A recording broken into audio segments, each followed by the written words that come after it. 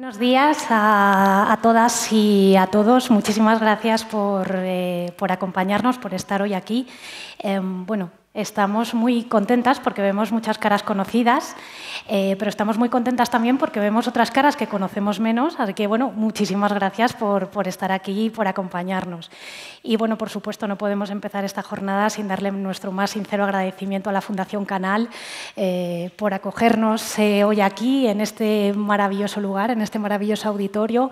es un lujo poder estar aquí y, por supuesto, también es un lujo teneros de, compañeros de viaje.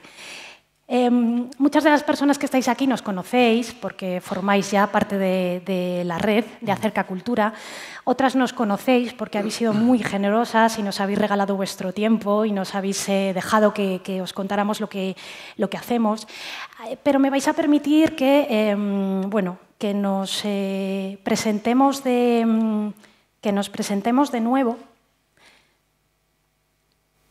No me funciona el mando, perdón. que, nos presentemos de, que nos presentemos de nuevo, sobre todo para aquellas personas que nos conocéis eh, a lo mejor un poquito, un poquito menos. Acerca Cultura eh, somos una red de entidades y de programadores culturales públicos y privados que trabajamos para garantizar el derecho de acceso a la cultura a las personas en situación de vulnerabilidad. Y lo hacemos de la mano de las entidades de los centros y de los servicios sociales.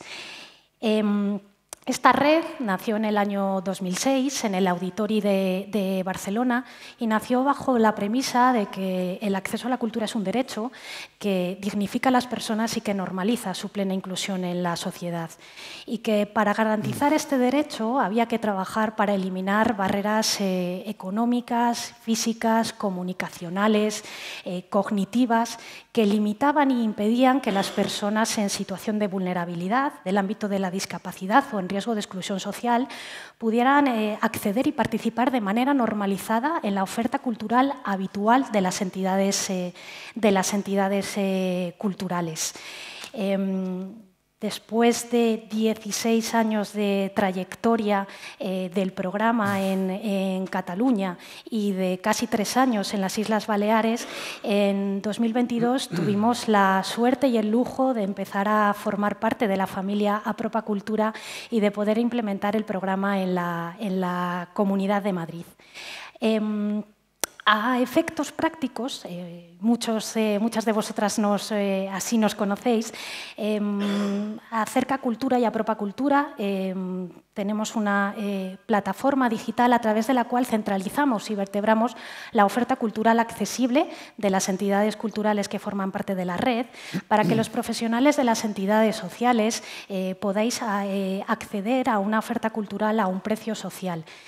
Ponemos el foco siempre en que los usuarios, las personas con las que trabajáis, las entidades sociales, tengan total libertad de elegir dónde y cuándo quieren ir entre toda la oferta cultural, pero siempre desde la igualdad de condiciones y la igualdad de oportunidades para poder eh, acceder a esta oferta cultural pero em, si queremos eh, seguir avanzando y garantizar que las personas en situación de vulnerabilidad puedan ejercer su derecho de acceso a la cultura, necesitamos también espacios de aprendizaje, de diálogo, de escucha activa, para seguir generando alianzas y establecer compromisos conjuntos entre eh, el sector social y el sector cultural. Por eso a lo largo de todo el año también realizamos otras jornadas y eventos, eh, muchos de ellos para eh, los miembros de nuestra red, pero también hay otras jornadas que las abrimos a cualquier persona eh, que estéis interesadas en la accesibilidad y en la inclusión en, en cultura. Justamente hoy es uno de esos eventos abiertos y lo abrimos porque bueno, es nuestra primera jornada de buenas prácticas en inclusión y en accesibilidad que organizamos desde la red de Acerca Cultura Madrid. La idea es poder organizar una jornada como esta eh, eh, cada año. Y eh, vaya por delante que a lo largo de la mañana de hoy vamos a escuchar a distintos profesionales que nos van a hablar de buenas prácticas vinculadas a lo mejor a una disciplina artística mm. concreta o que nos van a hablar de un programa que han realizado con un colectivo en concreto. Justamente ese es el objetivo de la jornada, que cuando nos vayamos de aquí hoy, cuando salgamos por esa puerta, nos preguntemos, ¿qué puedo hacer yo desde mi espacio? ¿Qué puedo hacer yo desde mi institución? Desde el trabajo que realizo con eh, las personas en situación de vulnerabilidad para replicar y para implementar esta, esta buena práctica. No sé si alguno de los que estáis aquí conocéis el, viaje del héroe, el periplo del héroe. ¿Alguien lo conoce? ¿La mesa? Voy a intentar explicarlo de una manera muy, resumida. Em, Joseph Campbell, un antropólogo, llegó a la eh, conclusión de que las eh, grandes narraciones protagonizadas por héroes siguen todas la misma estructura.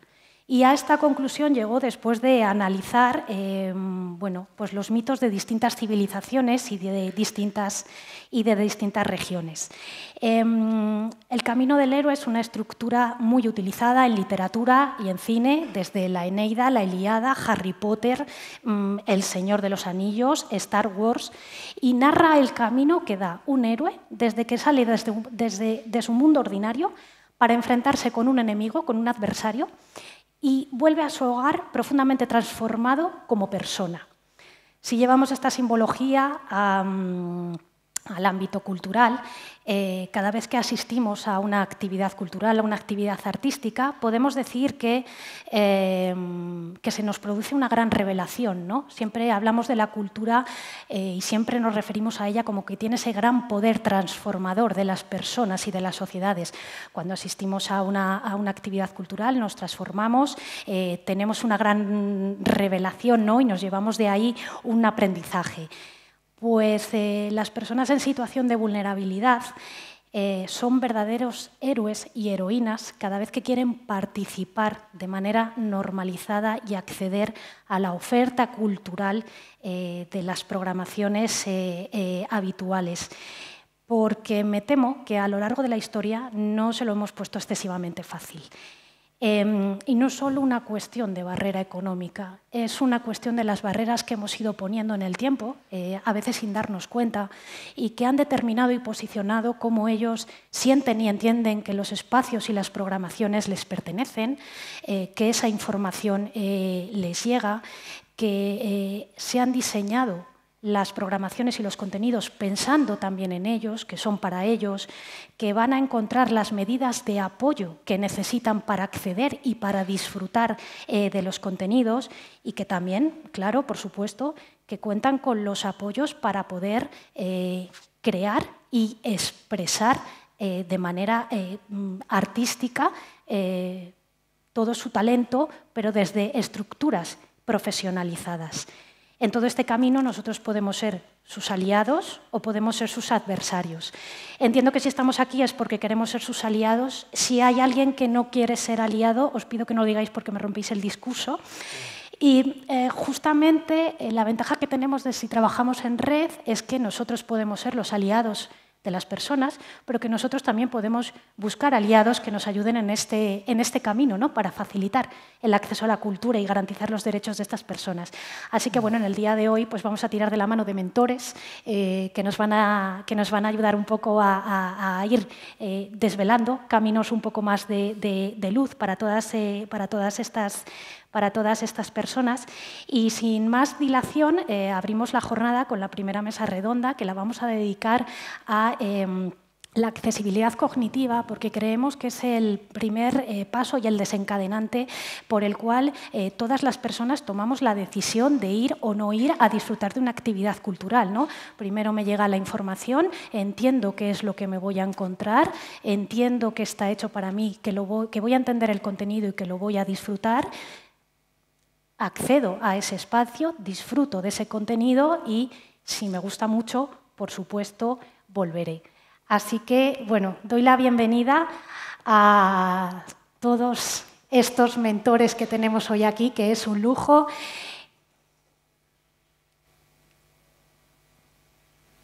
Se me ha ido la diapositiva. Voy presentando. Cristian Ruiz, subdirector de la Fundación Canal y director de Arte y Cultura, Gabriela Martín, eh, directora de la Fundación Psicobalé Maite León, Pablo Gonzalo, director global de conocimiento y cultura de la Fundación Telefónica. Pablo, he metido una palabra ahí que no es no, no, en el cargo. Rogelio Igualada, eh, responsable del área socioeducativa de la OCNE. Santiago de Ambrosio, responsable del programa eh, Prado Inclusivo del área educativa eh, del Museo Nacional del Prado. Y Sofía Sicilia, responsable comercial de CaixaForum. Bienvenidos y bienvenidas a todos. Vaya por delante, por supuesto, que desde todas vuestras, eh, vuestras instituciones eh, lleváis muchísimos años trabajando en, la inclusión, eh, trabajando en la accesibilidad y, por supuesto, tenéis programas con un gran componente social. Eh, sabéis que hoy os hemos cortado un poquito las, eh, las alas y que os hemos eh, pedido que nos centremos en algo muy concreto que cada uno de las personas que estáis aquí hacéis porque creemos que es una muy buena práctica a la que hay que dar valor, que hay que compartir y de la que todos podemos sacar un, un aprendizaje. Así que, eh, Cristian, comenzamos con, contigo como anfitrión además de, la jornada. Y, bueno, a ti te habíamos pedido que nos hablases un poco de toda esa estrategia que habéis diseñado desde, desde la Fundación eh, Canal eh, alrededor de todas vuestras exposiciones, que, lo, que habéis, además la habéis centrado mucho en, esta, parte, en esta parte digital. Sí, hola, buenos días a todos. Eh, soy Cristian Ruiz Orfila, soy el subdirector de la Fundación Canal y director de Arte y Cultura. Perdón, porque cuando, les ha cuando le iba a presentar esta mañana ya he dicho mal el apellido, me ha dicho bien el orden de los apellidos y yo he vuelto otra vez a decir mal el orden de los apellidos. No pasa nada. bien, eh, una pequeña presentación de lo que es la Fundación Canal. Eh, la Fundación Canal se creó en el año 2003 eh, como buque insignia de la responsabilidad social corporativa de Canal de Isabel II. Nuestra misión es acercar el conocimiento a las personas y lo hacemos a través de actividades de interés general, tanto en el área del medio ambiente como en el área de la cultura. Son las dos patas sobre las que bascula la actividad de la Fundación y las dos tienen la misma importancia. ¿Qué tipo de actividades de interés general hacemos? Pues básicamente hacemos exposiciones, que son las actividades más conocidas de la Fundación y en la que quizás mejor encajen los temas de los que vamos a hablar hoy. Hacemos conciertos, hacemos jornadas, hacemos concursos y hacemos un montón de actividades infantiles, juveniles y familiares vinculadas con el resto de actividades eh, principales de la Fundación. ¿Por qué comenzamos con la digitalización de la Fundación y por qué hay una estrategia de contenidos digitales muy potente en la Fundación? Si no os importa, me voy a acercar porque es que no, no veo bien de lejos. Eh, la Fundación tenía el 100% de sus actividades en formato analógico. De repente llega la pandemia, horror. Bien, pues hay una definición de crisis que a nosotros nos gusta mucho, que es oportunidad para mejorar. Eh, de repente, de la noche a la mañana, nos encontramos con que la, fundación tenía que parar. Eso no podía ocurrir. No podía ocurrir porque, entre otras cosas, el sector de las fundaciones estaba sufriendo una crisis importante. Se estaban cerrando un montón de fundaciones. Nosotros decíamos, la Fundación Canal tiene que ser ejemplo de cómo salir adelante en una crisis. Bien, nos encontramos todos encerrados en nuestras casas, sin capacidad tecnológica por detrás y hubo que reinventar la fundación de la noche a la mañana. Nunca hemos trabajado tanto en el equipo de la fundación, pero nunca nos hemos sentido tan gratificados por los resultados. Fuimos capaces de generar una actividad paralela en un tiempo récord, de forma que todas las actividades tuvieran su versión digital. Esto además nos ayudaba a conocer y profundizar mejor en las actividades y en hacerlas más accesibles. Y nos servía también para ampliar los participantes en nuestras actividades. Podíamos llegar a más gente de lo que tiene la capacidad presencial, como puede ser en el caso de este auditorio, pero también nos servía para atraer a nuevos públicos. Mm, el, el compromiso era claro, teníamos que hacer 100% eh, eh, teníamos que, que el 100% de la, de la, actividad de la Fundación pudiera ser analógica, tendríamos que hacerlo con los mínimos medios, tendríamos que atender a esa alta demanda de público que estaba encerrado en casa y que estaba pidiendo eh, contenidos de calidad.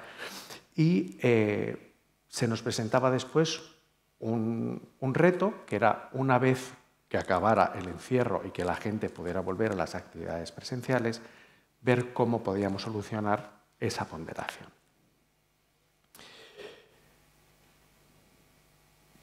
Básicamente nos pusimos a hacer tres cosas y ya paso al presente, que es eh, en lo que eh, nos ocupa ahora mismo, que es eh, los tres grandes bloques de actividad cultural. Por un lado, los conciertos. El primer concierto en pandemia lo hicimos 100% digital, con un contenido completamente distinto. las conferencias y los seminarios. La actividad de la Fundación se caracteriza por presentar los contenidos de mayor nivel, pero presentados de una forma mucho más accesible y mucho más sencilla de lo habitual. ¿Qué queremos decir con esto? Nosotros podemos tener los contenidos más elevados que satisfacen al público experto en el ámbito cultural, pero la forma en la que los presentamos, la forma en la que se desmenuzan, permite elaborar distintos niveles de, eh, profundización de los contenidos, de forma que el público general, que al final es a quien nos dirigimos, pueda mirar hacia arriba sin asustarse. Lo que hacemos es generar distintos niveles de contenido a través de contenidos digitales o a través de la narrativa de las propias actividades. Eso lo hacemos eh, a través de lo que llamamos las videoactividades, que son subproductos que salen de una actividad concreta, que pueden ser vídeos cortos para redes sociales, pueden ser contenidos para los centros educativos o pueden ser eh, simplemente la ampliación de contenidos en sala. Como digo, no es tanto lo que hacemos, que lo que hacemos en realidad lo hace todo el mundo, sino cómo lo hacemos. Cristina, tú lo decías antes, si tú no te diriges con los contenidos a determinados grupos con distinta capacidad de, profundización dentro de, las actividades, pues es complicado. Nuestras visitas, eh, nuestras videoactividades, en el fondo son vídeos que lanzamos en el entorno digital que son actividades en sí mismas, pero que proceden de una actividad más grande, como hemos dicho, Puede ser una exposición, que puede ser un concierto o que puede ser una conferencia.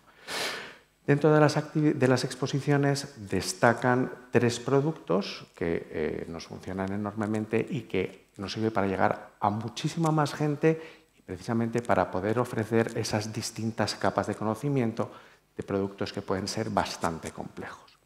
Las primeras son las visitas guiadas de los comisarios. Eh, se hacen unas visitas eh, a las exposiciones en las que lo que les pedimos es que sin abandonar el rigor, cuenten lo que estarías contando a un amigo tuyo que no es del sector o a tus hijos cuando están visitando la exposición y que entiendas sin ningún tipo de traba lo que te están contando. Vamos a ver tres ejemplos muy concretos, no de lo que hacemos, sino de cómo lo hacemos. Se cuenta que fue precisamente Miller quien lo descubrió al encender la luz en medio de una sesión de revelado. Ahora mira estas dos imágenes. ¿Qué te parecen? ¿Crees que son obra de la misma persona? ¿Has observado que la señora y la niña de la segunda fotografía también son las protagonistas de la otra imagen? La primera de ellas la hizo una fotoperiodista alemana conocida como Gerda Taro.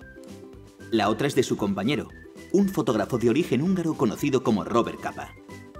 Eh, por algún motivo esto se ha desordenado, perdón. Lo que estábamos viendo eran los videotalleres. Los videotalleres lo que hacemos es, eh, para familias eh, que no pueden acercarse a la exposición a hacer las visitas taller para familias, les presentamos un videotaller en las que se explican determinados conceptos muy sencillos y luego al final se les proponen unas actividades. Esto lo que he querido eh, mostrar es cómo la comparación de estilos, la comparación de composición, el centro, etcétera, se puede explicar de una manera tan sumamente sencilla como la que acabamos de ver. Las visitas guiadas por los comisarios ocurre lo mismo. David, por favor, si me la visita guiada. Eh, un factor muy importante Lartigue hasta una cierta época podía eh, disfrutar de la vida, captar los momentos felices, pero en algún momento ha tenido que trabajar.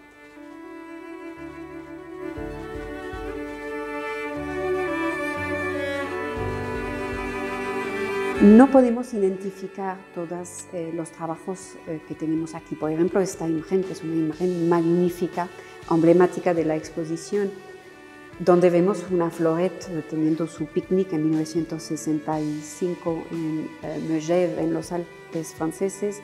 No sabemos muy bien si se trata de una publicidad y podría ser para la marca de coches Citroën o simplemente un reportaje sobre las vacaciones ideales de los franceses. Lo que sí sabemos es que esta fotografía no es una simple casualidad. Vuelvo a lo mismo, volvemos a conceptos de comisariado complejos expuestos de una forma muy, muy sencilla. Y el tercer gran producto digital que sale de las exposiciones son las visitas en 3D en 3D que lo que permite al visitante es profundizar y observar con detenimiento una vez o antes de haber, ah, una vez que ha visto la exposición o antes de verla, o incluso quien no pueda acercarse a la exposición, accede a todos los contenidos de la exposición, a las imágenes en alta resolución y a toda la información escrita que pueda aparecer en las cartelas o en los códigos QR de información. Eh, eh, no, eh, David, perdona. Pones por favor la visita 3D.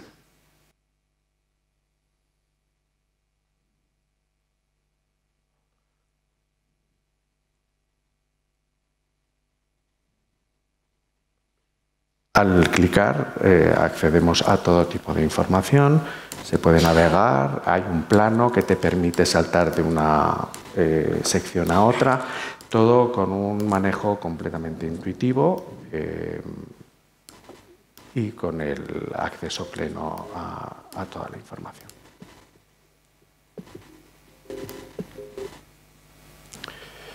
Además de estas actividades, eh, hacemos vídeos cortos para redes sociales. Esos vídeos cortos para redes sociales eh, son vídeos de aproximadamente 40 segundos en los que hacemos distintos grupos de contenidos en función del público al que va dirigido. Eh, hacemos unos muy cortos, muy familiares, muy sencillos para el público familiar, hacemos otros, otros vídeos más dirigidos a estudiantes y hacemos otros públicos más dirigidos al público académico.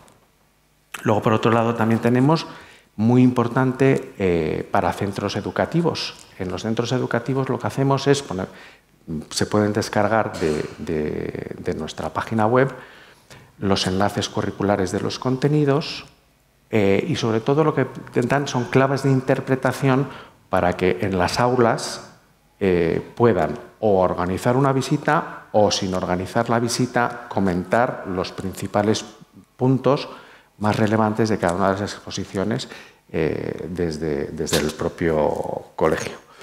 Y luego hay un último eh, elemento digital que es de grandísima utilidad y que sobre todo esto sí que sirve para establecer los distintos niveles de profundización, que son los códigos QR dentro de la, dentro de la propia... estos que están aquí, dentro de, las, eh, de la propia sala. Como digo, nuestro propósito es diferenciarnos no tanto en lo que hacemos, que sí que nos gusta ofrecer contenidos singulares, pero sobre todo en cómo lo hacemos. Y esa capacidad de llegar a cada uno de los distintos colectivos y a todo el mundo en función de sus capacidades es algo que nos lleva muchísimo esfuerzo, que nos lleva muchísimo trabajo, pero que da unos frutos muy rentables y que nosotros estamos muy contentos con la posibilidad de hacerlo. Y bueno, pues Básicamente esto es. Muchas gracias. Muchísimas gracias, Cristian. Para Gabriela. Gabriela, pues seguimos contigo y eh, bueno, a Gabriela le hemos pedido que em, nos comparta su experiencia en el desarrollo de, contenidos eh, que hacen eh, alrededor de sus espectáculos de, de, danza, que ya de por sí la danza, bueno, es una disciplina a veces muy abstracta y simbólica, ¿no? Sí, yo me voy a levantar también por favor. Vale, pues nada, yo soy Gabriela Martín, directora de la Fundación Psicoballet Maite León, que es una entidad que se dedica desde 1980 a formar artistas con y sin discapacidad en, las artes escénicas. Entonces, hoy la presentación que he hecho la he hecho en lectura fácil, por si venía público con discapacidad intelectual, y se titula Entender la cultura para disfrutarla. ¿Qué espero? Sí.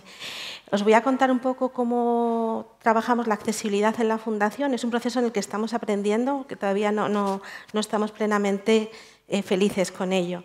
Dentro de la, de la escuela eh, eh, vienen alumnos desde los tres años de edad, con lo cual tienen que entender y formar parte de su proceso de, de formación, tienen que entender absolutamente todo lo que hacen y son parte decisiva de, de su proceso de aprendizaje. Entonces, todos y todas conocen el trabajo que se va a hacer con ellos y deciden si quieren eh, y dónde quieren y no quieren estar. Tenemos también profesores y profesoras con discapacidad dentro de la, fundación, con todo tipo de discapacidad, incluida la discapacidad intelectual, con lo cual eh, en alguna ocasión nos han dicho es que yo sé lo que me ha costado aprender esto y yo sé cómo transmitirlo, incluso mejor que a lo mejor otros profesionales. ¿no?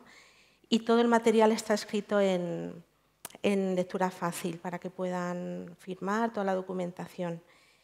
Eh, me voy a centrar en, accesibilidad cognitiva. ¿vale? Eh, dentro de la página web tenemos un, apartado de lectura fácil eh, y todavía tenemos que mejorarla bastante porque, por ejemplo, claro, a medida que vas adquiriendo conocimiento en accesibilidad ves que tienes que mejorar cosas. Entonces, pues nos estamos planteando por ejemplo, el, que pueda haber una audiodescripción de, material en lectura fácil. Eh, y está validado por personas de la propia fundación. Fuera de la fundación, tenemos dentro de la fundación tenemos como tres pilares grandes. Uno que es la escuela, otro que son las compañías y otro que es trabajo fuera de la fundación, que somos representantes artísticos de artistas con discapacidad que quieren trabajar fuera. Entonces llevamos todo el proceso de acompañamiento y mentoring de, artistas que trabajan fuera y también todo el material que nos, que nos dan los contratos y tal, los pasamos a lectura fácil para que puedan entender lo que firman. Dentro de las compañías, lo que es en la parte interna de la fundación, eh, os voy a contar un poco cómo hacemos los procesos creativos. La, mayor parte de las integrantes de nuestras compañías tienen discapacidad o diversidad intelectual.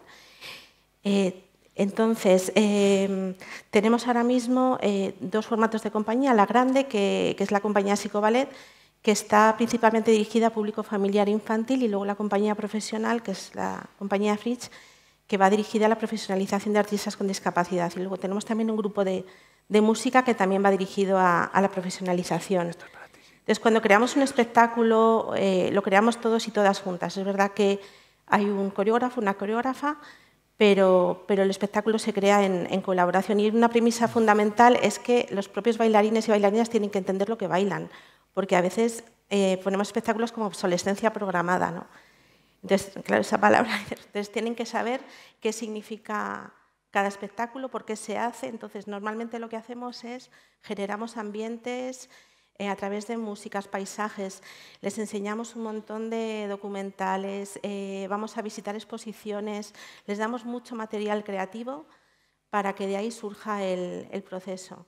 Y es un momento que además que disfrutamos muchísimo porque es donde realmente sacamos todo el partido de, somos como esponjas que vamos absorbiendo lo que nos dan los bailarines y bailarinas. Entonces, a, eh, partir de ahí va surgiendo el espectáculo. A veces eh, iniciamos en, 2012 con la compañía profesional procesos de creación con, los propios bailarines y bailarines y a partir de ahí también son ellos y ellas los que crean sus propias piezas coreográficas. Entonces ahí también les damos plena libertad y si necesitan apoyo profesional lo tienen. Si van demandando lo que necesitan y lo vamos ofreciendo. Y, luego, bueno, dentro del grupo de música, igual, cada persona trae su propuesta y a partir de, las propuestas de todos y todas se van creando las distintas canciones. Para el público con discapacidad intelectual, deciros que también hacemos los espectáculos accesibles desde el principio. O sea, es muy importante, eh, nos dimos cuenta que la, accesibilidad sea una pata más del proceso, desde el inicio del proceso de creación hasta el final. Entonces, desde que empezamos a generar un espectáculo, tenemos la accesibilidad en mente. Nos ha costado, sobre todo porque tienes que tener el chip de que esa, pata es importante ¿no? para poder llegar a todos los públicos, sobre todo público como el que tenemos en la compañía. Entonces, en ocasiones tenemos la suerte de contar con entidades como Aptent o espacios que son accesibles, con lo cual nos relajamos mucho, pero hay otras ocasiones que nos lo tenemos que buscar, buscar la vida. ¿no? Entonces, dentro de las piezas coreográficas siempre eh, intentamos, siempre si, hay algo de lenguaje que nos es fundamental para la pieza, hay lengua de signos que está incorporada, por ejemplo, a la coreografía.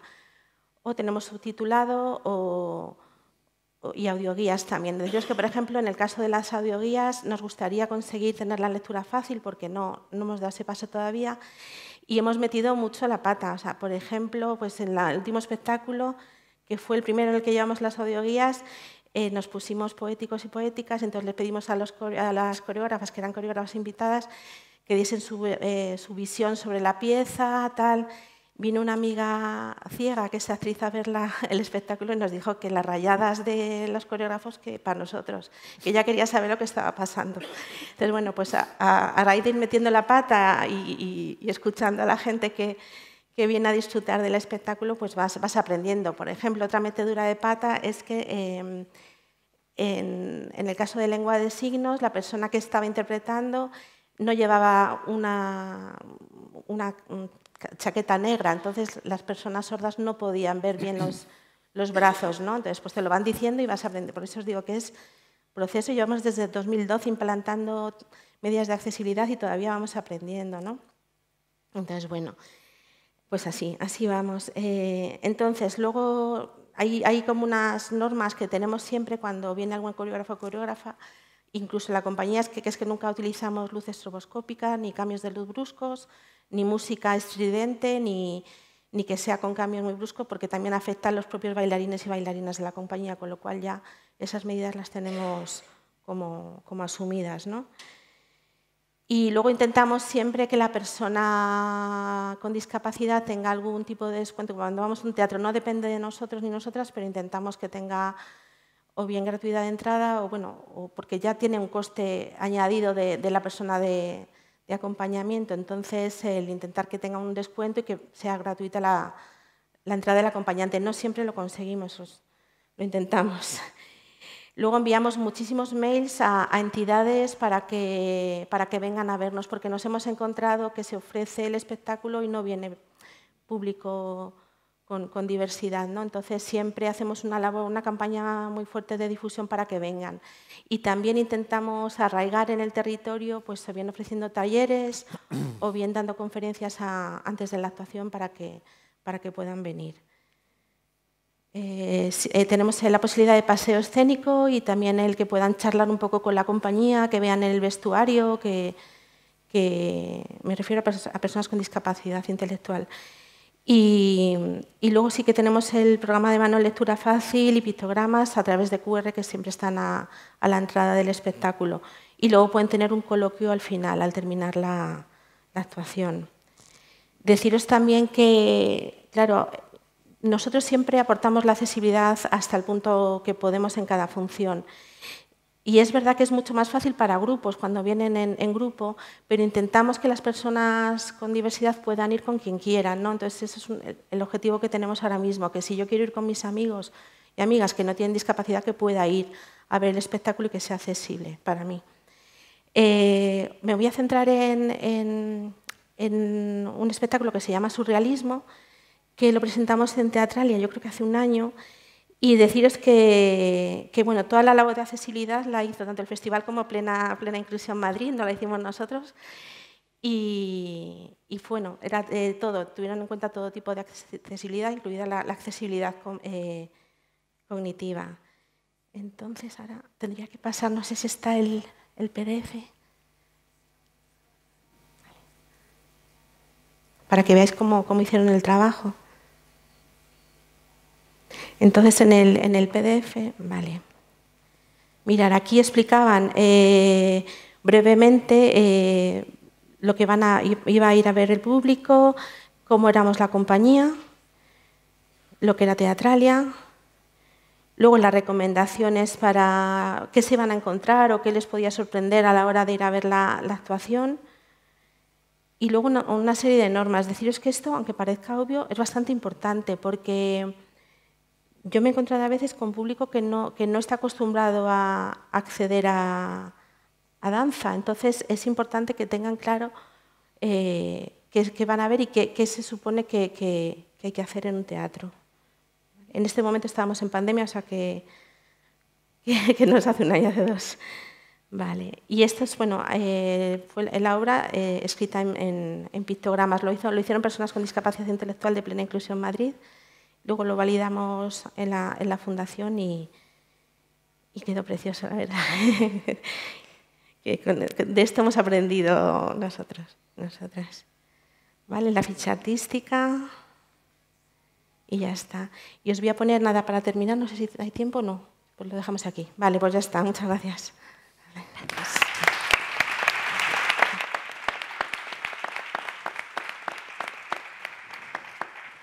Pablo, Em, a ti un, poco en la línea de, Cristian, eh, como, Fundación Telefónica, ¿no? que trabajáis muy bien los, eh, todos los materiales alrededor también de las exposiciones.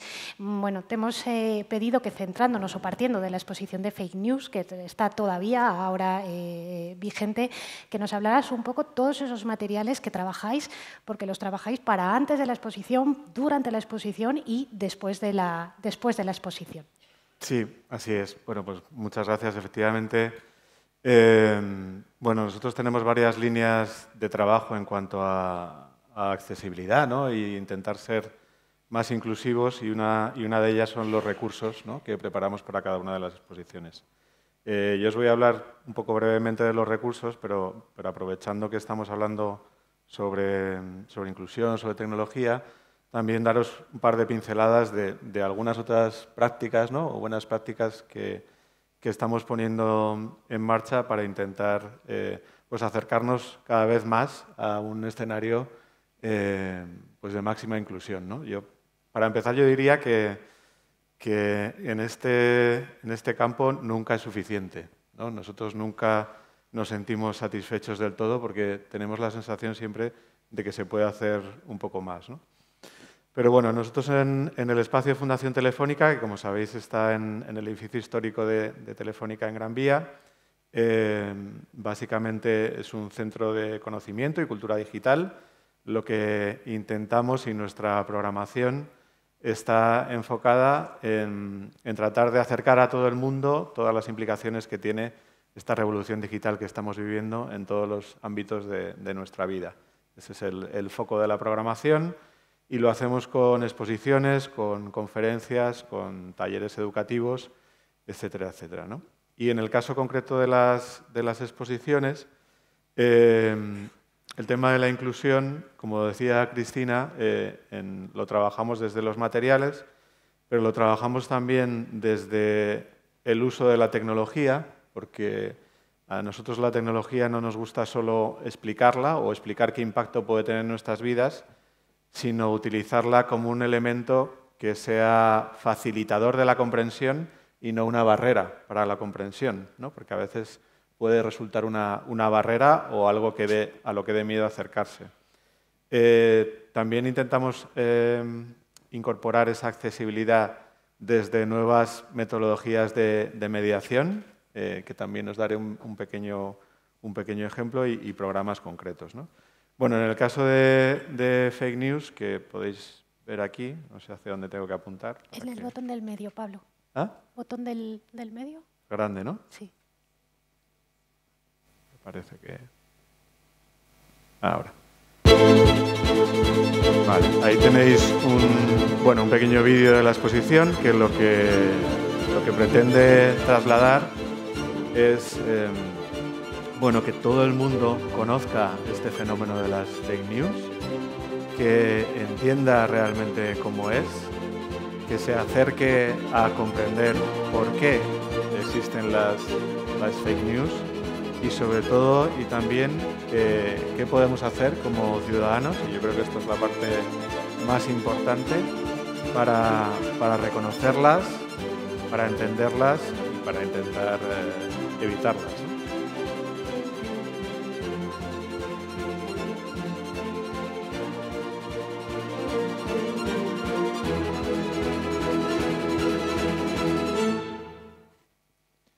Y sobre este fenómeno tan, tan complejo, ¿no? como es el de las, el de las fake news, em, pues lo que, como decías, una de las, de las maneras que tenemos en, intentar acercar estos contenidos que, que, por definición son complejos y tienen muchos ángulos distintos es a través de los recursos educativos que ponemos a disposición. ¿no? Muchos de ellos digitales, también como decía Cristian en el caso de Fundación Canal, eh, que, todos están a disposición de, todos los visitantes, tanto desde la página web para trabajarlos antes de la visita, como en la, propia exposición a través de códigos QR, audioguías, etcétera, etcétera. Eh, una de las, cosas que hicimos en términos de, recursos fue, eh, bueno, desde el inicio hacíamos una, guía práctica para los docentes, para que los docentes antes de venir a la exposición eh, tuvieran las claves para, sus alumnos. Y nos dimos cuenta que esa guía para docentes realmente la utilizaba todo el mundo, no solo los docentes, eh, eh, que fue uno de, los aprendizajes interesantes que tuvimos. Y lo que hicimos fue esa guía que estaba orientada a docentes, ampliarla al público general, de forma que cualquier persona que quisiera venir a ver la exposición tuviera esa información previamente. También trabajamos con Plena Inclusión Madrid precisamente para, para desde hace unos años también hacer esa guía en formato de, lectura fácil, que está funcionando realmente muy bien y está teniendo muchísima acogida. Y antes de entrar, en, de hecho, en, los corrillos, antes de, empezar, ¿no? yo, yo, comentaba que yo a veces cuando tengo que repasar una exposición me voy a leer la, guía de lectura fácil, porque es que está tan bien hecha y tan bien explicada que realmente es un recurso que es, que es, que es muy interesante. ¿no? Y luego, además de todas las audioguías y toda la, y toda la información que hay, que hay en la propia exposición, cuando los visitantes... Eh, pues, eh, pues están físicamente en, nuestro centro. ¿no? Y luego cuando, cuando el visitante eh, se ha marchado, pues una, bueno, aquí tenéis la guía práctica de la exposición, perdón, la guía práctica, eh, perdón, la guía en formato de, lectura fácil, gracias a, Plena Inclusión Madrid, a, los que aprovecho para, para, agradecer y felicitar por su, por su trabajo. También las audioguías en dos, en dos idiomas, y un montón de recursos para, saber más de todo tipo. Eh, en, el, caso de, fake news, como es lógico, nos lo pedía la exposición, pues elaboramos un, manual para combatir la desinformación, en este caso con, parte del conocimiento que nosotros mismos teníamos y en colaboración con, maldita.es, que como sabéis es una de las entidades que, trabajan en, combatir la, la, desinformación. Un glosario para entender mejor el fenómeno, el fenómeno perdón, en fin, eh, cronología, porque una, de las cosas curiosas ¿no? de las fake news y lo que nos enseñaba el, comisario, que por cierto fue eh, Mario Tascón, tristemente eh, fallecido recientemente y, bueno, que aprovecho para homenajear y, mandar un, un, saludo muy cariñoso a toda su familia. Em, una de las cosas que aprendimos con la exposición es que Allí donde hay algo que nos importa, allí hay fake news, porque las fake news están hechas para, para influir y, la gente quiere influir en lo que nos importa, ¿no? las fake news a lo largo de toda la historia desde los romanos. Y luego, además de todas las eh, actividades educativas, visitas comentadas, charlas científicas, talleres familiares, etcétera, etcétera. Y, por supuesto, también talleres específicamente dirigidos para colectivos eh, vulnerables con, una, con metodologías específicas. Bueno, quería pasar rápidamente por, la parte de recursos, eh, que como decías es una de las preguntas que nos hacías y es una de las líneas que tenemos, pero no la única. Voy a ser muy breve para comentar las otras tres y dejar tiempo al resto de la mesa. Eh, pero sí que me interesaba eh, dar tres pinceladas de cómo usamos la tecnología para que sea una ayuda y no una barrera. Y con un ejemplo de una exposición que diseñamos en 2019, que se llamó Intangibles y en, el que, en la que nos hicimos la pregunta de si se podía hacer una exposición de obras de arte sin las obras de arte, a través de la tecnología. Escogimos nueve obras de la colección telefónica, eh, Tapies, Chillida, Picasso, Y estuvimos trabajando seis meses con un grupo de, expertos multidisciplinares, sociólogos, expertos en arte, pero también expertos en inclusión, mediadores culturales, para pensar eh, con el público en el inicio del proceso y con varios perfiles distintos de públicos, ¿no? público general, eh, pues público con necesidades especiales, cognitivas de todo tipo, cómo podíamos utilizar la tecnología en cada una de estas obras para hacerlas más accesibles, para hacerlas más ricas. Lo que nos dijo el público es que ellos lo que querían era entender mejor la obra entrando dentro de la obra y entender mejor la obra entrando dentro de la, de la mente del artista.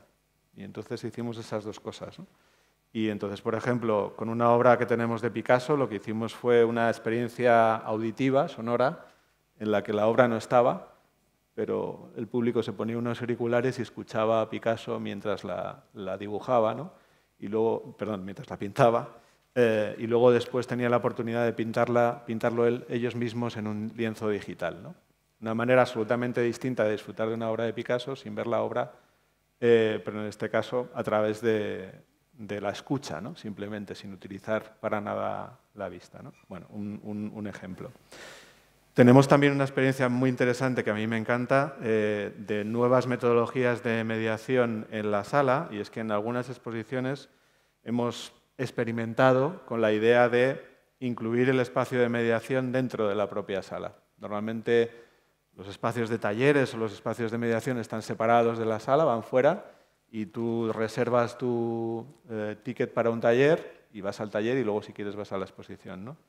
Nosotros hemos experimentado incorporando ese espacio dentro de la propia exposición, como si fuera una plaza pública, eh, donde hay un equipo de mediación nuestro que está en un horario bastante amplio a lo largo de toda la jornada de apertura del espacio, eh, con un montón de recursos físicos y digitales Em, y esperando a que los visitantes, si les apetece, se sienten allí a, comentar lo que han visto, a preguntar o simplemente a charlar. Eh, ha sido una experiencia maravillosa porque realmente mucha gente quizás pues no, no accede a los talleres o, no quiere ir a un taller como muy formalizado, y, pero cuando están visitando la exposición encuentran ese espacio, se sienten acogidos y, y bueno, el equipo de mediación a veces nos decía, a veces la gente simplemente se, sienta aquí como si fuera la plaza de un, banco en un parque y se sienta a charlar con nosotros y a que les contemos y a contarnos eh, a nosotros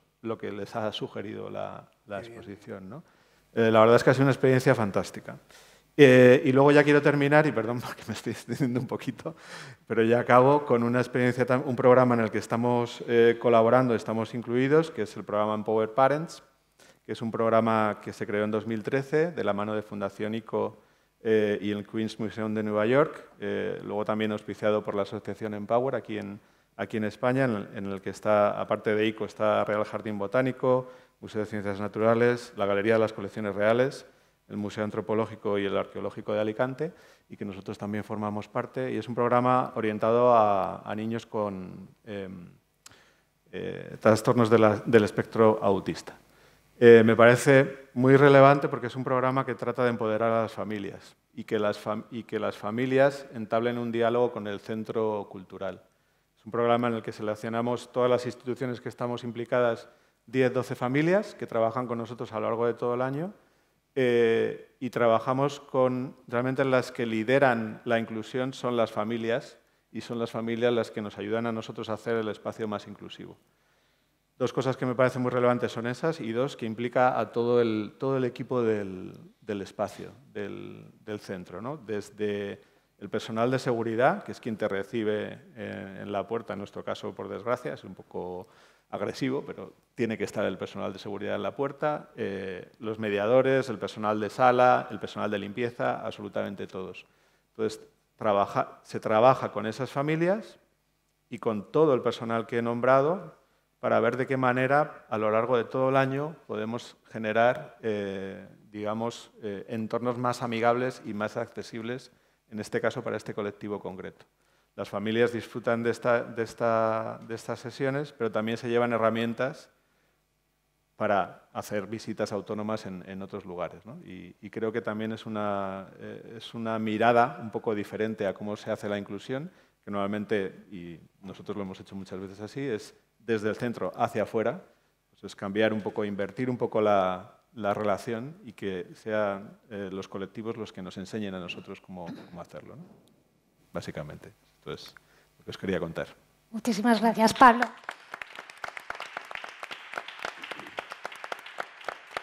Y por, eh, por alusión, entre esas caras amigas que decíamos antes que veíamos, están caras amigas del Museo ICO, caras amigas de Patrimonio Nacional, del Museo de Ciencias Naturales, de Plena Inclusión. Así que, bueno, me, sumo a, las felicitaciones y enhorabuena por todo el trabajo que estáis haciendo en, inclusión y, en accesibilidad. Y muchísimas gracias por estar aquí hoy también acompañándonos. Eh, Rogelio, pasamos contigo. Mm, nadie mejor que tú para contarnos eh, ese maravilloso programa que tenéis desde la OCNE, en el que em, habéis tratado una disciplina tan eh, complicada y a veces tan alejada del, público como es la música clásica, y cómo habéis conseguido darle la vuelta a esos, a esos conciertos y acercarlos de una manera muy cercana y muy afable a, a todos los públicos. Bueno, Primero que nada diré que yo como ciudadano, como urbanita, me siento muy orgulloso porque me doy cuenta ahora, perdona porque que, haga este, Por favor. este paréntesis, porque como urbanita, como madrileño y tal, pues he visitado Caixa Forum, por supuesto, y hace años, yo creo que desde el primer momento, que impresionaba ver aquel jardín colgante, por supuesto, imaginaros el Museo del Prado, he visitado Telefónica Fundación, eh, he visitado también eh, como urbanita, insisto, la Fundación Canal con las exposiciones. Esta sala no la conocía. Conozco vuestro trabajo también porque hemos coincidido en, jornadas de inclusión y tengo pendiente ver algo en directo. Y ahora, bueno, pues ya respondiendo a, tu, a tu pregunta, bueno, nosotros tenemos que decir que el año que viene ya cumplimos 20 años, cumpliremos 20 años de, esta era, podríamos decir, ya eh, contemporánea, de, de ese compromiso de la institución Orquesta y Coro Nacionales de España con el tema socioeducativo. Empezó todo con Josep Pons, él tenía una idea muy clara de qué es lo que quería hacer, qué modelo, qué modelo quería implantar y la orquesta, sinceramente, en aquella época aún venía de una, de, una época, valga la redundancia, pues que eso parecía muy, muy alejado. Él tenía muy claro lo que quería hacer y lo hemos ido desarrollando. Y yo no voy a hablaros ahora de todas las líneas de actuación, porque no se trata de eso. Y voy a centrarme en lo que tú desde el primer momento nos proponías, que parece ser que como, buena práctica eh, el formato, el, ciclo de conciertos descubre, conozcamos los nombres, pues parece ser que estamos cumpliendo esa función de buena práctica. Entonces os cuento un poquito, tengo que leer porque, bueno, eh, pondremos primero una pequeña parte del, del, del vídeo eh, bueno, los conciertos Descubre, conozcamos los nombres, es un ciclo de conciertos, un formato nuevo. Eh, es una experiencia de concierto diferente con la que tenemos la oportunidad de descubrir las peculiaridades de los compositores, de los autores, dentro de su contexto social, histórico y cultural, y analizar detalles de, de, sus, de sus recursos o de su lenguaje compositivo, que nos permiten a la vez descubrir el significado de una manera más profunda de sus obras al mismo tiempo, tenemos la ocasión de conocer eh, los talentos emergentes de directores y solistas eh, nacionales e internacionales. Y ahora os voy a, poner una, pequeña, una, parte del, vídeo de esas cápsulas que preceden a, los conciertos y que están en las, en las webs. Ahora hablaremos un poco de cómo se presenta esto en la web de la orquesta. Eh, no por quitarme presión, pero claro, cuando esta mañana de repente me he visto rodeado del Museo del Prado, bueno, ya lo sabía, ¿no? Pero hasta que no llegas aquí no te das cuenta. Digo, yo soy, eh, yo me tiro una piscina sin agua en un momento dado, pero eh, Caixa Forum, eh, insisto, el Prado, tal, y decía, bueno, aquí contaré yo, hablaré de mi librito, de mi librito y haré lo que pueda. Pero bueno, estamos orgullosos de lo que hacemos y voy a intentar... El ritmo cambiante de los compases y el cromatismo de la armonía fluyen en unos valses breves de estructuras simples que compuso como homenaje a Franz Schubert en 1909. Originalmente escrita para piano, el día del estreno provocó total indiferencia en el público, pero Ravel no se desanimó. Amante de los detalles y preciso como un relojero suizo, realizó un magnífico arreglo sinfónico. Bueno, esta es la pequeña cápsula, parte de, la cápsula que precede eh, a toda la explicación y todo el material que aparece en la web eh, y que habla de este formato y de, este, y de esta experiencia, ya posteriormente la propia experiencia del concierto. Eh, hay una primera parte, primero, lo primero que se presenta es una narración amena, pero que tiene el rigor del análisis histórico y musicológico de las obras ¿no? que tratamos se sintetiza a través de, metáforas y de analogías para aproximar al público las características eh, más significativas, insisto, del lenguaje musical y artístico sobre el autor que, estemos trabajando. Esto corresponde a este primer descubre que hicimos hace un mes, eh, donde se trabajó sobre la música de, Ravel y... Eh, soy un desastre, lo otro, la segunda parte, ¿cuál era? Ah, sí, por supuesto. Y El Caballero de la Rosa de, de Richard Strauss una suite de la, de la ópera. Una obra, una obra para mí, eh, yo soy apasionado de esa obra y del, y del argumento y del mensaje de, de, su ópera. Eh, bueno, pues eh, todo esto se complementa con ejemplos musicales en esa primera parte, todo esto se complementa con ejemplos musicales que la propia orquesta toca en directo. Esto gusta y, y es una manera muy buena de introducir al público ya en la obra, ¿no? Eh, todo ello, evidentemente, pues eso, con la intención, al menos la intención de aumentar la comprensión de esas piezas musicales y contribuir a una percepción del público que llegue un poquito más allá, que sea un poquito más profunda. Eh, luego tenemos, eh, a continuación, se interpreta ya la obra sin interrupciones habladas y se proyecta una guía de audición en pantalla. Perdón, no me acuerdo nunca darle. Aquí podéis ver, esta es la primera parte, imagen que pertenece a la primera parte. Ahora, ahora hablaremos de Sofía Martínez Villar, que es la narradora que actualmente pues eso, trabaja y, presenta y narra estos, estos conciertos, este formato Descubre. Aquí veis que, bueno, eh, tengo que explicar que, ahora, ahora os lo cuento, eh, eh, el diseño de luces y el ambiente de la sala se, se adecua para cada caso. Imaginaros, tenéis que pensar que la sala sinfónica del Auditorio Nacional es una sala de conciertos al uso. Eh, tiene una acústica impresionante, de las mejores acústicas que puede haber en el mundo, doy fe.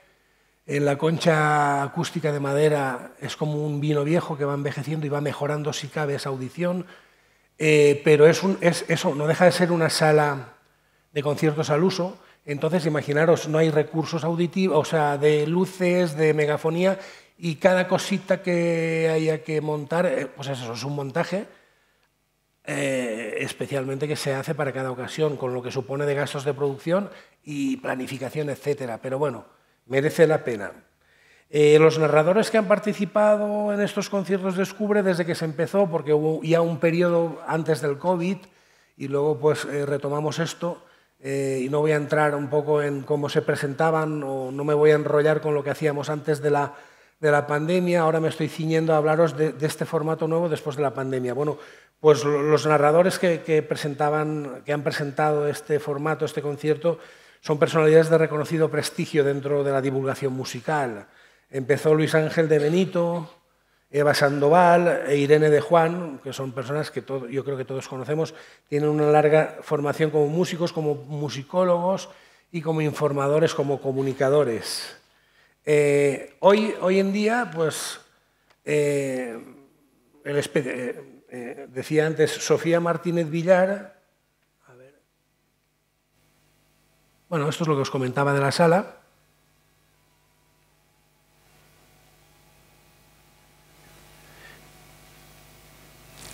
ah, me dejaba una parte importante, perdón.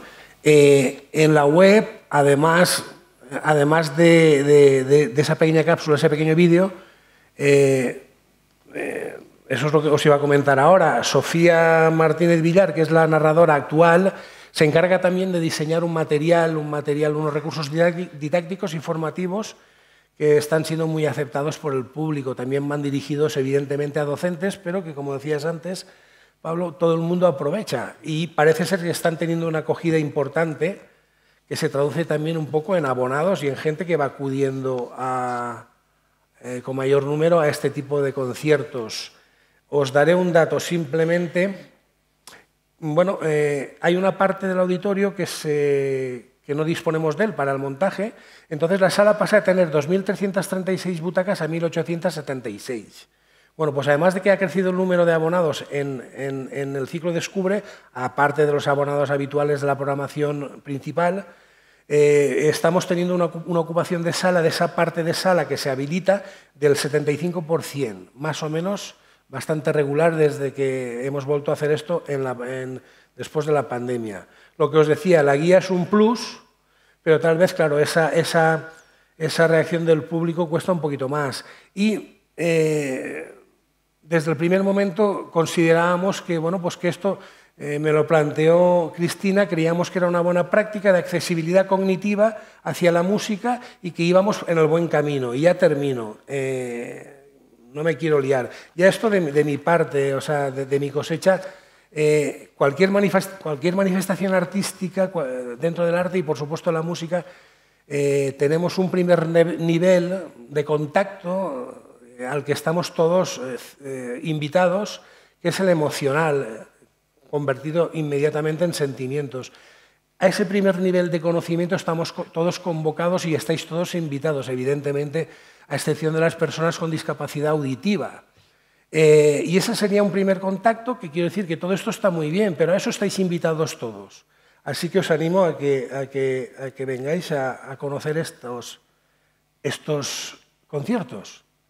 Y luego, bueno, eh, hablar de la fila cero, hablar, de la fila cero o de, la aplicación de radio clásica, de Radio Nacional, porque es un contenedor donde dirigimos también las grabaciones de parte de nuestros conciertos, no solo únicamente los conciertos Descubre. Nada, simplemente recordaros eso, que a ese primer nivel de conocimiento, de contacto, de emoción, estáis todos invitados. Gracias, Rogelio. Gracias.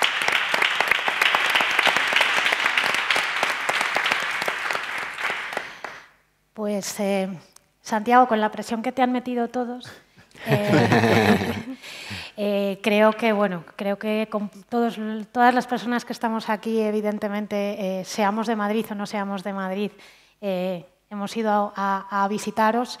Em, y, es verdad que os lo hemos puesto difícil, ¿no? porque lleváis muchísimos años con muchos programas y, trabajando eh, no solo la accesibilidad, sino la inclusión de distintas personas en vuestro, en vuestro espacio como Museo Nacional y te lo hemos puesto muy complicado porque te, hemos ceñido un poco el, el discurso y lo que te hemos pedido es que nos hables en concreto de ese programa que tenéis que se llama Invencibles en el Prado, porque la verdad es que em, sorprende cómo desde un museo clásico como el vuestro habéis armado una exposición a través del arte, pero olvidándoos del arte y de la parte, y de la parte técnica.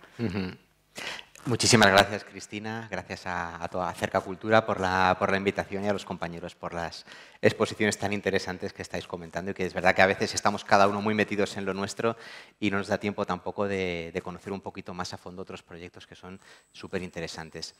Eh, nada, sin más, eh, escuchándote al principio con el tema del periplo del héroe, eh, creo que he entendido un poco también por qué, por qué centrarnos ¿no? en este proyecto de, de, Invencibles en el Prado, ¿no? que, vamos a contar un poquito a modo de, a modo de ejemplo de lo que son pues, esas diversas actividades, acciones, em, recursos accesibles muy diversos que desde el Museo del Prado pues, intentamos, intentamos ofrecer.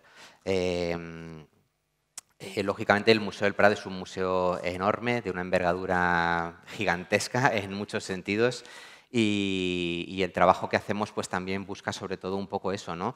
ese, lugar que puede parecer, ¿no? ese templo del arte tan distante, ¿no? tan alejado de, de algunas personas, eh, dar a entender ¿no? y mostrar una cara muchísimo más amable de que no es solamente el museo de todos, tiene que ser el museo para todos, ¿no? Es un museo que estamos, yo creo, en la obligación y en el compromiso absoluto de poco a poco, estoy completamente de acuerdo con los compañeros, de que siempre tengo la sensación de que no hemos hecho suficiente y que siempre queda un camino larguísimo por recorrer, aunque sigamos dando pequeños pasitos, ¿no? pero en ese, en ese camino estamos también. ¿no? Entonces, bueno, la actividad de Invencibles en el Prado se enmarca dentro de un programa más amplio que se llama Prado Inclusivo, que lleva ya 18 años funcionando desde bastante tiempo antes incluso de que yo llegara al museo, que llevo siete años en, él. Entonces, es un proyecto pues, que ha ido creciendo de forma eh, muy paulatina, pero creo que también por eso muy sólida, en el que hemos ido incorporando muchas novedades, pero se ha mantenido, yo creo, también una, una base que es el, contacto y el diálogo con las entidades sociales y con el tejido social para poder construir esos proyectos. Entonces, bueno, eh, es, un, es, un, proyecto en el que, es un programa en el que todas las actividades que se ofrecen, eh, lo que buscamos es, dado que somos un espacio con mucha demanda, eh, permitir como un primer acercamiento a todos los colectivos, una primera experiencia que sea lo más gratificante posible, lo más agradable posible y que permita de alguna manera poco a poco que todos los colectivos se vayan incorporando a hacer uso de otros muchos recursos que dispone el museo para públicos más amplios y que creo que lo pueden ir haciendo de un modo más autónomo y más inclusivo, eh, pero que también es necesario ese primer momento ¿no? en, el que, en el que el museo proactivamente eh, busca que esos colectivos entren dentro, ¿no? que no estén fuera como han estado durante mucho tiempo, sino que estén eh, dentro. ¿no? Entonces, ofrecemos actividades de dos sesiones de duración, a veces son las dos en el museo, a veces son una en el centro, se desplaza un educador a las distintas entidades y otra en el museo. Trabajamos con grupos reducidos de unas 15 personas aproximadamente, justamente para eh, trabajar en esa línea de una, de una atención que sea bastante personalizada, bastante flexible, muy empática, muy cercana eh, a, las, diferentes personas que, acuden a las actividades. Eh, el equipo de educadoras con el que trabajamos es un equipo amplio, están todas ellas especializadas, tienen formación en temas sociales y de, diversidad. En concreto, en el caso de Invencibles en el Prado es una neuropsicóloga que es especialista en temas de daño cerebral adquirido y que pues trabajando con ella, hablando un día, nos surgió también esta idea de poder trabajar sobre, sobre ese concepto de resiliencia que vamos a ver un poquito más adelante. Todas las actividades tienen una metodología que es completamente dialogada, participativa, em, tanto en la parte, digamos, de em, acercamiento a las obras de la colección como en lo que puede ser una parte más dinámica, más creativa, más de propuestas de, de acción o de, o de creación. ¿no? Y buscamos siempre que esas propuestas sean accesibles para todo el mundo y que no generen en ningún caso pues, eh, frustración o dificultad. Es decir, que prevemos desde el principio la variabilidad inmensa de personas que pueden venir. Dentro de Parado Inclusivo nos, dirigimos tanto a públicos que podríamos clasificar dentro de la parada de diversidad, diversidad funcional, intelectual, psíquica, TEA, mm, discapacidad física, deterioro cognitivo, como también público un poco de tipo más eh, de personas en vulnerabilidad social, migrantes, salud mental, hospitales, eh, colectivos de personas mayores en, distintas entidades de, apoyo y de, cuidados. Entonces, bueno, en Invencibles en el Prado eh, lo que abordamos es algunas obras de la colección a través de, una temática, que es esta, idea, este concepto de la resiliencia, que en realidad es algo que mm, es relativamente moderno el término ¿no? en el que nos hemos eh, familiarizado con él, pero que en realidad es algo eh, tan antiguo como la propia humanidad, ¿no? que es esa capacidad, yo creo, universal que tenemos todas las personas pues de afrontar al final situaciones complejas, eh, difíciles, problemáticas, pérdidas, el estrés ¿no? a día de hoy. de la mejor manera, ¿no? Tenemos todos que afrontar muchas situaciones complejas y de alguna manera salir eh, fortalecidos y fortalecidas de esas, de esas situaciones. ¿no? Entonces, rastreando la enormidad ¿no? de personajes de la historia, del ámbito de la mitología, eh, del ámbito de la Biblia, que también hay mucho dentro de la, de la colección, ¿no? pues hemos encontrado muchos ejemplos ¿no? de personajes reales, ¿no? ficticios, que podemos interpretar un poco en esta, en esta línea y generando ese diálogo buscamos también eh, empoderar a esos héroes que pertenecen a los grupos que, que, vienen a los programas ¿no? y que de alguna manera se pueden ver reflejados en esos personajes, eh, también en ese espacio de normalización y de seguridad que es el entorno del museo y de la actividad que estamos realizando, poder expresar y poder compartir ¿no? esas situaciones vitales que han podido ser complejas y qué recursos ¿no? han, puesto, eh, han movilizado ¿no? para poder salir eh, fortalecidos y fortalecidas de, esas. ¿no? Es un término pues, que está ya recogido en la RAE, que viene del, ámbito de la, de la ciencia, de, los, de los materiales, pero que hace referencia a esa capacidad de adaptación de un ser vivo frente a un agente perturbador o un estado o situación adversos.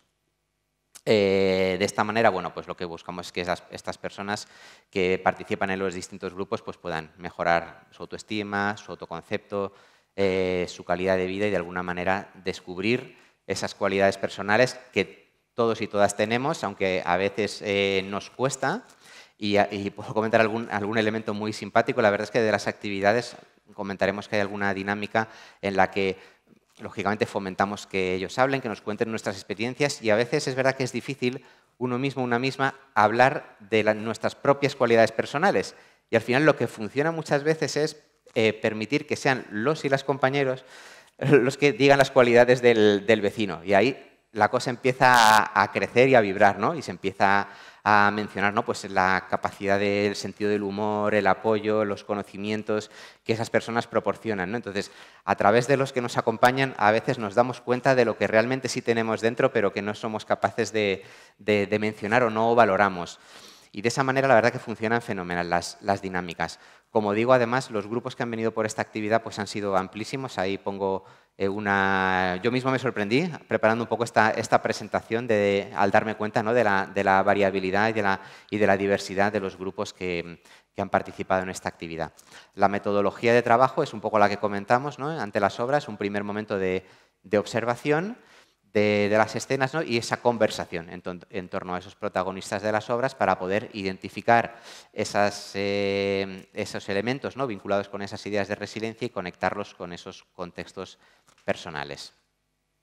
Comenzamos trabajando con algunas eh, frases de personajes o de figuras eh, muy reconocidas que inciden en esa idea que también algunos de, vosotros habéis mencionado en vuestras en vuestras intervenciones, que efectivamente es así, ¿no? como hacemos un poco de la, de la necesidad virtud, ¿no? como las crisis son algo positivo, ¿no? que también nos permite salir eh, fortalecidos. ¿no? Entonces, a través de estas frases se busca también ir generando ese diálogo, esa reflexión con, con el grupo y esa aplicación a los contextos personales. Estas son algunas de las obras, no sé si va a dar tiempo, las tengo luego un poquito en, en detalle de los, esos personajes ¿no? del Museo del Prado que hemos seleccionado como, ejemplos de resiliencia, de distintos aspectos de la, resiliencia y como veis pues nos centramos en distintos aspectos, ¿no? tanto emocionales, ¿no? la idea de ser positivos, el sentido del humor, el control emocional y el disponer de una red social, lo que comentaba, lo que comentaba antes, ¿no? a nivel de pensamiento, pues ser conscientes de nuestras propias capacidades y de nuestras propias limitaciones, pero sin perder jamás esa confianza en uno mismo, ¿no? Y el, el aquí ahora, ¿no? Lo que ahora llaman el mindfulness, ¿no? Esa presencia consciente de, bueno, de centrarnos en lo que tenemos en cada momento, intentar no anticipar, ¿no? Y no, o no quedarnos anclados a, a, otras dificultades del, del, pasado, adaptándonos así a los cambios, con iniciativa, ser tenaces, ser creativos. Al final, cuando hablamos de estos temas con los grupos, salen un montón de cosas y nos damos cuenta de que todos hemos puesto en práctica de alguna manera esas, esas herramientas personales. Nos pedís también que era interesante comentar algunos datos de participación. Eh, pues son cinco años de andadura ¿no? las que llevamos ya con este proyecto. Son 10 grupos anuales, no son, no son muchos porque es verdad que hay otras de las actividades del programa de Prado Inclusivo que reciben bastante más volumen de, participantes. Esta es, ha sido como un trabajo un poquito como más eh, constante ¿no? y más lento, pero sí que poco a poco hemos ido sumando pues, hasta 700 personas, ¿no? hemos contabilizado que ya han formado parte y al igual que, que todos los demás compañeros, pues en la pandemia nos adaptamos a los tiempos que corrían y eh, adaptamos la actividad para poderla realizar en formato online, en formato videoconferencia durante, durante aquellos largos meses. Eh, como impacto en, las, en, otras actividades, ¿no? pues, eh, hemos aprendido pues, que es fundamental conceptualizar las actividades partiendo, partiendo de esos enfoques de interés de los propios grupos a los que nos dirigimos, ¿no? que a veces pues, hablar de ¿no? la historia del arte, del barroco, de estas grandes cuestiones ¿no? que son muy interesantes, lógicamente, para cierto público experto, pues en este caso nos alejan ¿no? de los públicos a los que queremos llegar eh, y contar con esa participación siempre de los profesionales de las entidades, tanto en la preparación de la actividad como en lo que es la adaptación luego a cada, a cada perfil en concreto. ¿no? Eh, de esa manera pues alcanzamos a un público cada vez más alto y en los participantes pues yo creo que ese sentimiento de importancia, ese interés por los autocuidados, la autoestima, la emoción, valoran enormemente lo que es venir al museo como una oportunidad única y lo que es relacionarse ¿no? en un entorno con otro tipo de, personas. Creo que vamos muy mal de tiempo, ¿verdad? Con lo cual, quizá, pues, si luego tenéis curiosidad ¿no? de algunos de los, eh, de por qué, ¿no? A lo mejor hemos seleccionado a algunos de estos eh, personajes, de estas obras ¿no? que, que tenemos en el museo, pues que representan pues, esa capacidad ¿no? de reponerse a la enfermedad, a, los retos, a situaciones completamente em, adversas, pues eh, podemos quizá comentar, ¿no? si no, pues podemos pasar la presentación, etc. En fin, eh, un poco en resumen, esta frase ¿no? que nos habla de que este mundo no va a cambiar a menos a que estemos dispuestos a cambiarnos a nosotros mismos, que yo siempre hablo de esa barrera actitudinal que al final me parece la más importante. Todas las demás existen y lógicamente hay que intervenir en ellas, pero si entramos en un espacio donde las diferentes personas nos dan la bienvenida y donde se nota que los responsables de los distintos ámbitos de trabajo, los distintos responsables, en el museo somos un equipo de casi 500 personas en plantilla, más todos los colaboradores externos, todo el mundo tiene que, digamos, poner su granito de arena en su actitud, en su trabajo día a día, para que esa cadena de la accesibilidad no se rompa y para que esa barrera actitudinal la derribemos entre todas y entre todos. Sin más nada, muchísimas gracias, Invencibles. Muchas gracias.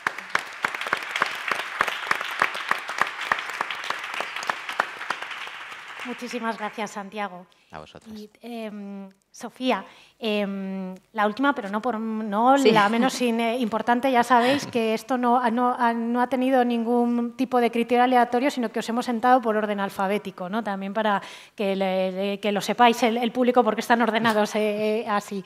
Eh, Sofía, a ti te hemos pedido, dentro de toda la, actividad que, hacéis dentro de, de Caixa Forum, eh, que nos hables de un programa que ya sabes que a nosotros nos gusta, especialmente desde Acerca Cultura, que es el programa de pequeños cinéfilos.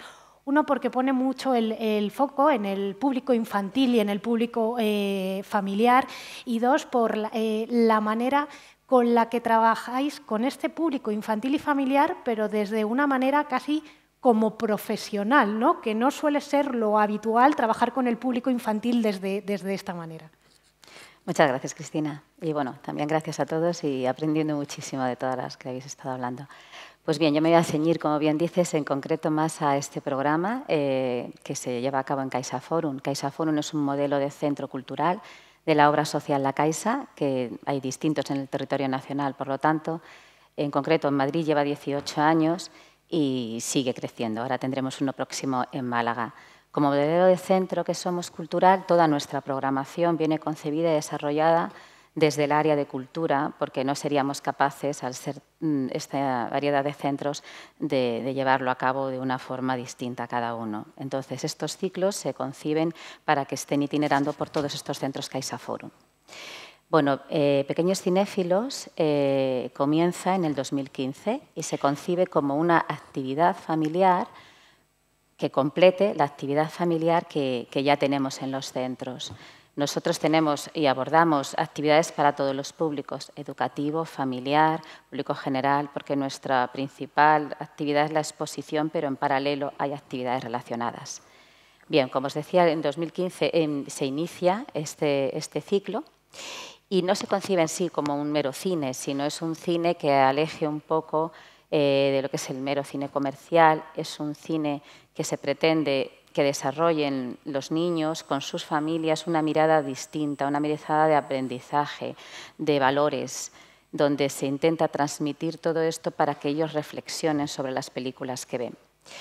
Todo esto lo llevamos a cabo, lógicamente, con mediadores, con mediadores culturales con los que trabajamos en el centro, que desarrollan todo tipo de visitas y además forma parte también de la actividad, con lo cual no es un mero cine, es un cine que se concibe como una actividad, donde hay una introducción previa, siempre de la mano de un mediador, de un profesional, que dura 20 minutos al inicio del ciclo, porque cada ciclo tiene un eje. Unas veces el ciclo puede ser por un director, otras veces, como ahora, estamos trabajándolo con las exposiciones que tenemos. Esto es una novedad que nos está funcionando muy bien y ahora pues hemos tenido un claro ejemplo y tenemos ahora la exposición y tiene su ciclo de cine Pequeñas Heroínas. Como os decía, eh, primero se forma a todo este equipo de educadores, se hace una formación online a través de Blanca Almendariz, es una persona del Departamento Pedagógico y nuestro de Cultura que hace esta formación. Y cuando se inicia el ciclo, perdón, no sé si me oye bien, Cuando se inicia el ciclo siempre hay una, charla por parte de ella con todas las familias donde les explica y contextualiza muy bien todo el ciclo, las películas que se van a llevar a cabo y los debates que se van a abrir al finalizar la película. Después, en cada una de las películas se lleva a cabo lo mismo con una introducción menor y en el cierre se lleva a cabo el debate. Y es donde realmente descubrimos lo interesante de este formato de actividad. Como los niños, cada uno, desde su imaginación y su percepción, ven y valoran esta película, qué les ha aportado, qué les hace descubrir y qué les hace sentir. Y los padres participan de esto. Previamente tenemos unas fichas que están en la página web y que son muy útiles, que la utilizan las familias y también los grupos, porque lo hemos abierto a que también pueda ser participativo a grupos, tanto escolares como colectivos como los que ahora estamos eh, abriendo hacia Cerca Cultura. Esto creo que es la mejor buena práctica que puedo, que puedo comentar, porque realmente nos ha permitido ver que no hay que encasillar a los públicos, no es un público que solamente, esto no solamente es para familias, es para muchos públicos. Y esas miradas diversas en ese debate construyen una práctica maravillosa. Con lo cual, nosotros, gracias a Cerca Cultura, gracias a los colectivos vulnerables o personas con algún tipo de diversidad funcional que han asistido, como lo adaptamos con los educadores, porque lo sabemos previamente, hacemos que ellos también sean partícipes y los niños aprenden de ellos, porque son miradas y reflexiones muy, muy distintas. Yo he tenido la suerte de poder estar en uno de ellos y a mí personalmente lo que más me ha emocionado y me ha gustado ha sido eso, esa, esa, bueno, esa sinergia, esa compartir todos y que todos de ahí saquen cada uno esa reflexión, que a cada uno le construye su mirada de una forma distinta. Ahora, por ejemplo, con el ciclo de, pequeñas heroínas, que va vinculada a la exposición Veneradas y Temidas del British, Después, lo que se pretende, y en esa ficha que os digo que está colgada en la web pedagógica, que después vayan a ver la exposición y descubran esa pequeña heroína que ellas pueden ser, en este caso, porque la exposición eh, también quiere transmitir mucho la diversidad de género. Y ahora estamos trabajando también en esto con este ciclo. Bueno, sin más, para no ser más extensa, eh, os invito a que asistáis, a que colaboréis y que disfrutéis de este, de este programa. Gracias.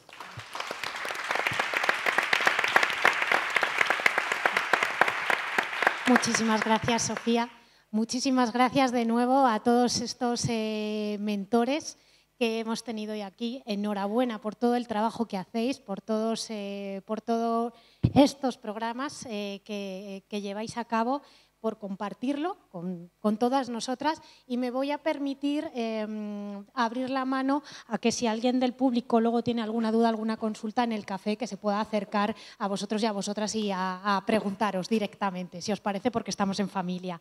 Así que bueno, en, este viaje de esta jornada eh, continuamos y le damos eh, el paso a, a Javier Jiménez, que es el, CEO de Apten y el presidente de la asociación Hazlo Accesible, eh, que, bueno, que desarrolla el, programa Teatro eh, Accesible, que es la buena práctica que le hemos pedido hoy que, nos comparta, porque bueno, después de 12 temporadas de implementación de, este programa, yo creo que nos puede contar cosas muy interesantes y abrirnos mucho la, mirada. Así que sin más, despedimos esta mesa y le damos paso a Javier.